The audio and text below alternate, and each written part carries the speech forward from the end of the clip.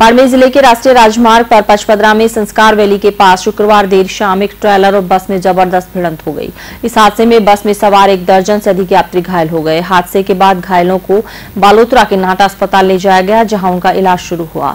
हादसे की सूचना पर पहुँची पुलिस ने अस्पताल पहुंचकर घायलों के बयान कलमबद्ध किए और दुर्घटनाग्रस्त वाहनों को जब्त कर हादसे की पड़ताल शुरू की।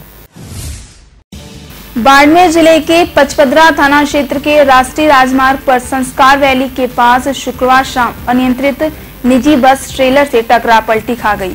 इस हादसे में बस में सवार करीब 15 लोग घायल हो गए। हादसे की सूचना मिलने पर पहुँची पचपदरा एवं पाटोदी की 108 एंबुलेंस एवं अन्य वाहनों से घायलों को इलाज के लिए बालोतरा के नाहटा अस्पताल और पचपदरा के स्वास्थ्य केंद्र ले जाया गया है। जान का उपचार शुरू हुआ। दुर्घटना के बाद राजमार्ग पर वाहनों की लंबी कतार लग गई। वहीं पचपदरा पुलिस ने मौके पर पहुंचकर यातायात बहाल करवाया। जानकारी के अनुसार सवारियों से भरी निजी बस शुक्रवार शाम जोधपुर से पचपदरा की ओर आ रही थी।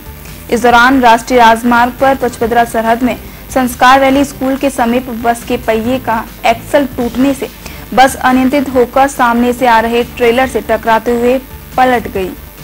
बस पलटते ही लोगों के चीखने चिल्लाने की आवाज़ पर कोहराम मच गया।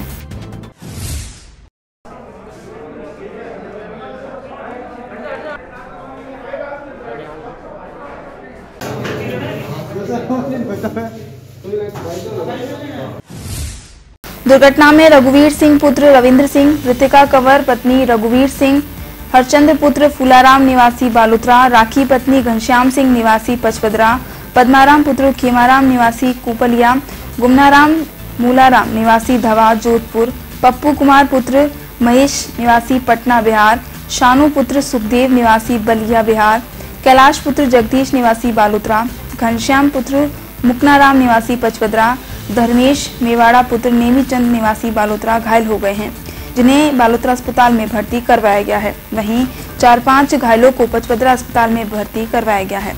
जहाँ उनका उपचार शुरू हुआ और पुलिस ने दुर्घटनाग्रस्त वाहनों को जब्त कर हादसे की पड़ताल शुरू की है।